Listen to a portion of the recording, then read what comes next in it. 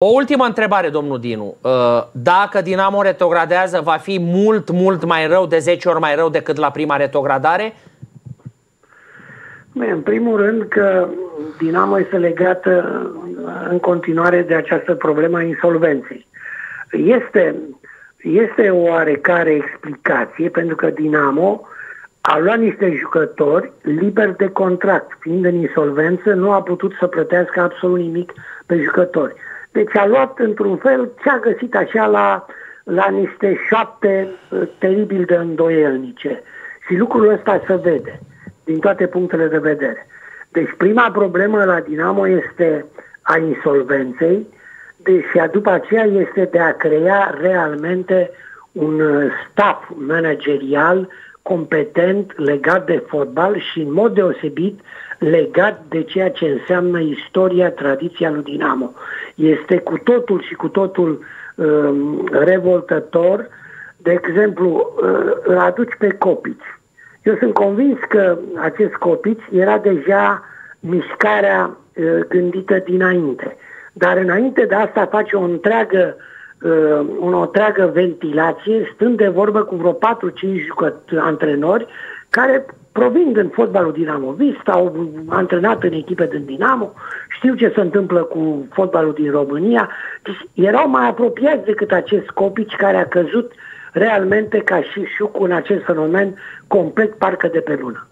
Am înțeles. Bun, și dacă retrogradează, dezastru va fi mai mare decât la prima retrogradare sau s-au obișnuit deja?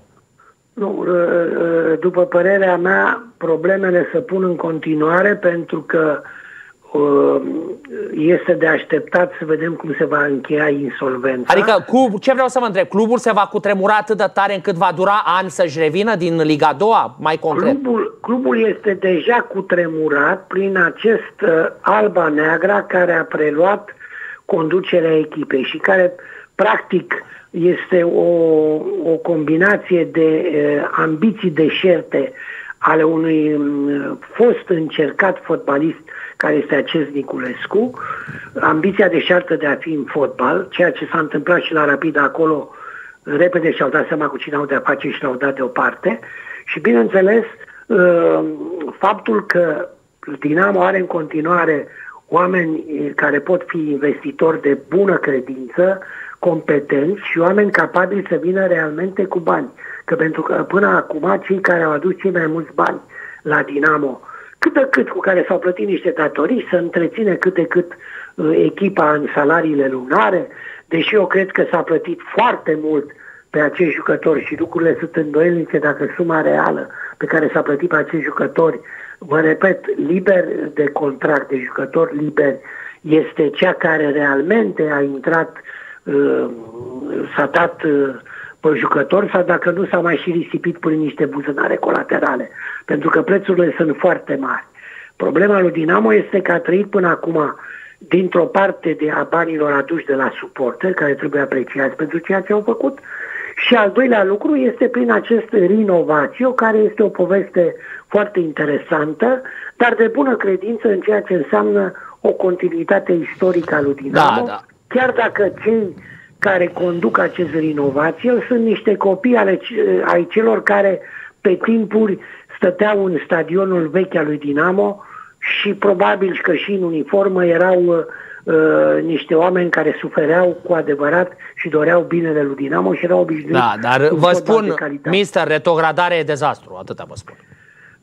Ne, o eventuală retrogradare, mai ales la noi, va fi o combinație nefastă între lipsa totală a banilor și mai ales ceea ce să știe la noi că orice înfrângere ne dărâmă de practic, nu suntem ca în bazme, ca văd frumos cu zmeul care îl bagă la început până la genunchi, după aia până la brâu. Noi intrăm direct în, în nisipuri mișcătoare la o eventuală a doua retrogradare Dinamo până la gât în dezastru. Da. Mulțumim, domnul Dinu. Mulțumim, a fost Cornel uh, Dinu. Cum vedeți Dinamo? Ha? Mihai, uh, Robert, Florin, cum vedeți Dinamo? Uh, dacă lasă-i pe ei să spună prima oară, pentru că Robert. mine, vreau să trag niște concluzii și după ce spune da, Cornel da, da, despre da. Dinamo, pentru că nu pot să-mi permit să vorbesc despre un club în calitatea unuia care păstorește aceste... Da, te rog, Robert. Nu, Dinamo, din păcate, chiar dacă ca joc aseară arată mai bine, și poate invoca ghinionul, nu neapărat lipsa de valoare a unor jucători. Din, prin prisma clasamentului arată foarte rău arată foarte rău pentru că, uh, ok, mai sunt vreo 18 meciuri în total, sunt multe puncte dacă mulțim cu 3, uh, punctele astea care le au ei în momentul de față 10 să vor înjumătăți, dar vedem că uh, deja echipa de deasupra lui Dinamo are vreo 8, 11, 11 puncte în plus. Da. Craiova. 11 puncte, Craiova 21 Craiova de puncte care, cu 10. Stai, și care are, și care echipă, are un lot, da. care are altă situație financiară, care a, are în componența primului 11 niște individualități și uite-te doar la meciul de ieri, păi uh-huh. Bauza o ia de la centru și de gol.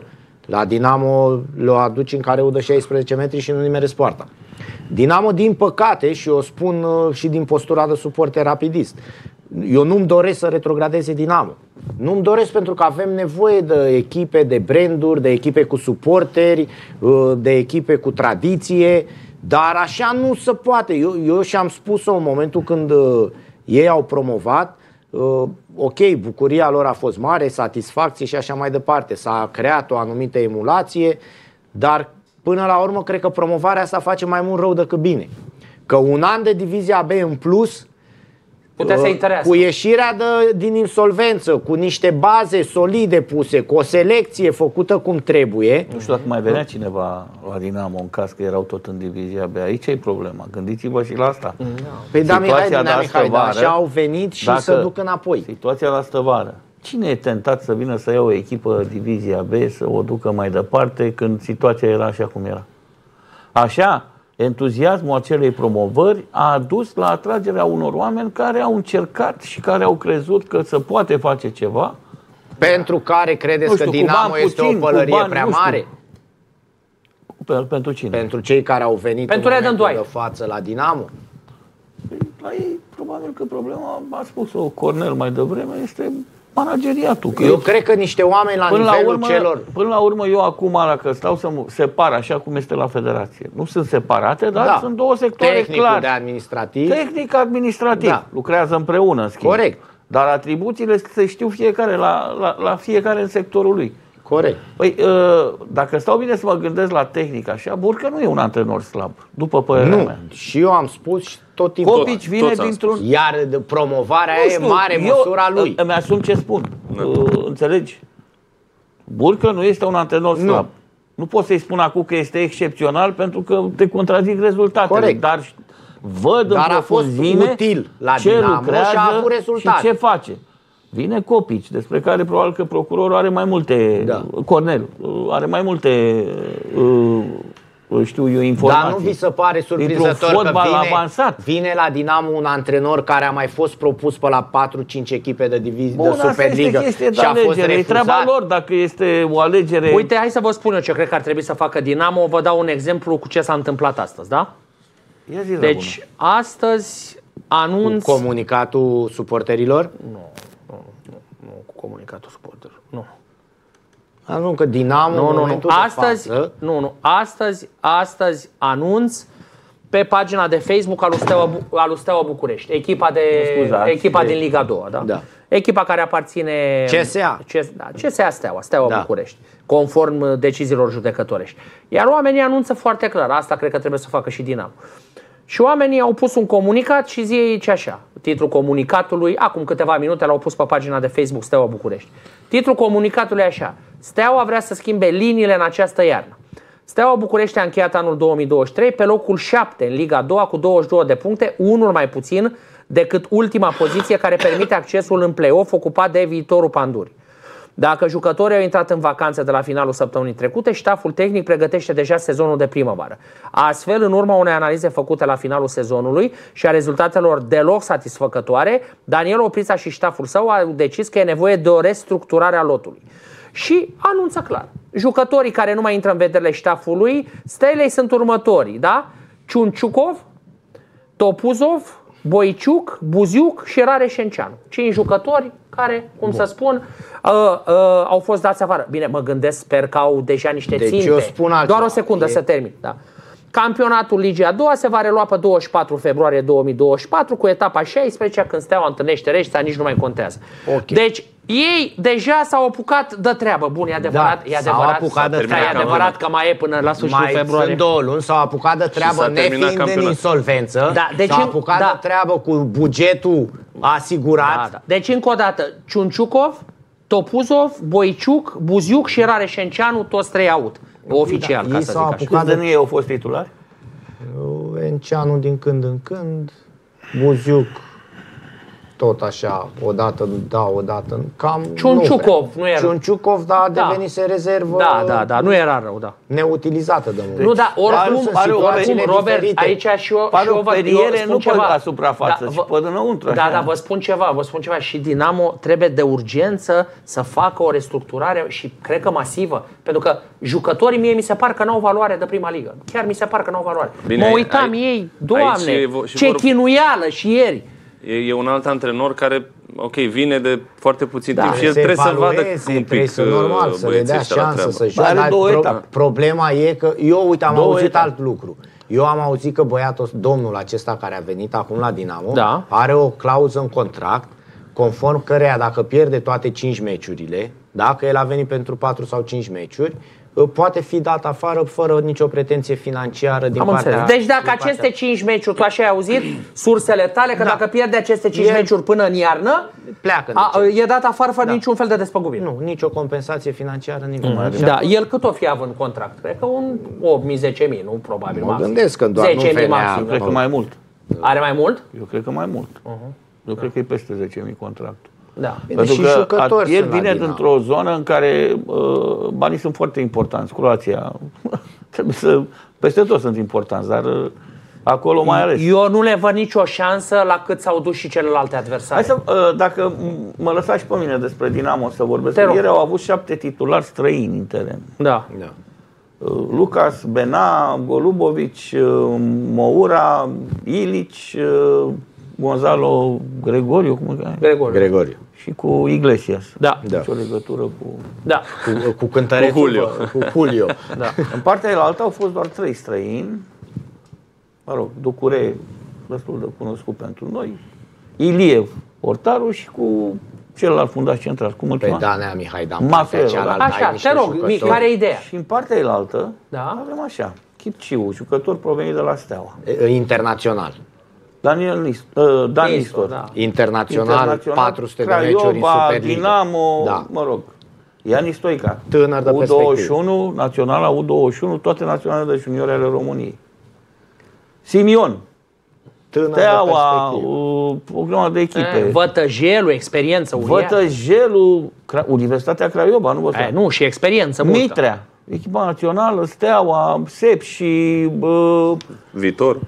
În străinătate, uh, ce să mai zic, uh, Danea Mihai, dar Mancea. Dinamo își permite 5-6 jucători de genul Nu, ăsta? stai în puțin, momentul stai de față? puțin.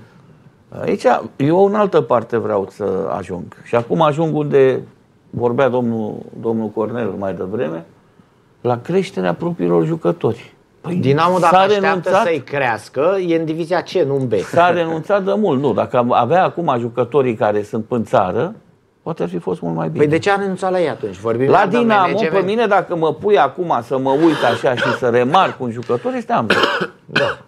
Amzăr, care ieri n-a fost uh, grozav, dar nici rău. Bine, toți uh, au început în nota echipei să joace, știi? Înțelegi? A fost adus Denis Politic, care e o paralelă cu Krasniqi. La început ne-a luat ochii la toți, s-a stins. Danea Mihai, dar E ea- așa sau nu e așa? Da, Da, da, după da. două Vă meciuri îl mulțumesc vroia frumos că sunteți pe de acord. Trebuie să AC fiu... Milan. Păi ne-ai și plătit înainte de emisiune, Da. să fim de acord. Spune A, și- da, da, da. Tu îți dai seama ce fonduri am acum. Bravo, Nu, acum simt- aveți bani. Acum ai- Simțim că ajunge departe și Orică, ne punem bine. o fonduri europene.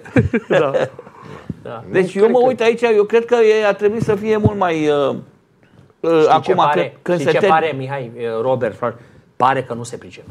Păi, Îmi pare rău, așa pare că nu se Mie pricep. mi se Așa pare să că în vezi. iarnă- Conducerea pare că nu se pricep. Uite, hai să fac altă Mie mi se paralelă. pare în iarnă ei trebuie să fie foarte realiști. Să-și facă analiza la ce pot să facă în continuare, da? unde să ajungă, pentru că e foarte greu. Dacă mai pierd acum Câte mai au? Două meciuri mai au? Mai au da. două meciuri. Joacă cu, Dacă joacă, joacă cu Botoșani, cu Botoșani și voluntari. Și voluntari. Și voluntari, că da. nu meci ușor. Nu, dar pe ce la Botoșani e ușor? Iar voluntariul nu, nu știu. pierde. Flo- bate... Robert Niță știe că nu e meci ușor cu voluntari. Da, normal. Exact. Normal că știu. Și atunci, în iarnă, când termin, trebuie să fii extrem de realist. mai avem vreo șansă? Uh, Ce facem? Șanse există, Nea Mihai. Ai șansa celor șase luni în care trebuie să-ți construiești ceea ce crezi tu că poți să, o spune englezul, reaching, ce să ating. Nu Eu poți... vă spun, e foarte greu. Doar un miracol îi mai salvează. Credeți-mă, credeți-mă. Am făcut analiză și pe celelalte echipe, că nu joacă singur. Mm. Ba, pe păi cum? Știi e, că... Echipa de deasupra lor e Craiova lui Mitelu, care cu trei clase peste Cred ei. că cea mai mare nu problemă... Nu joacă singure, Horică. Joacă celelalte echipe.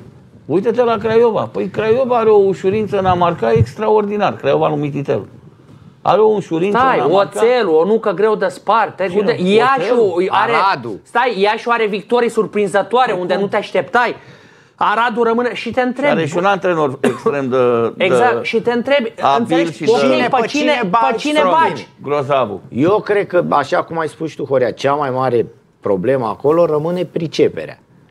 Pentru că bani sunt, Așa declară domnii de acolo și plățile nu sunt la zi. Nu cred că sunt bani. Pe așa spune, Horia, când îți permis să dai 10-12 mii unui jucător, înseamnă da, că sunt bani. și eu cu surprindere treaba Înseamnă asta. că sunt bani. Scuză-mă, nu știu cum or fi domnii ăștia de la alb-roșu, uh, cum uh, gestionează, e strict eu cred treaba că sunt bani, Eu lor. cred că sunt bani de la lună la lună, dacă mă întrebăm. Păi da, da, de la lună la lună 6.000 clubul cu 6.000, alb-roșu sunt 12.000. Da, da, eu cred că nu mai sunt bani pentru transferuri, asta e părerea mea. Așa cred. Na.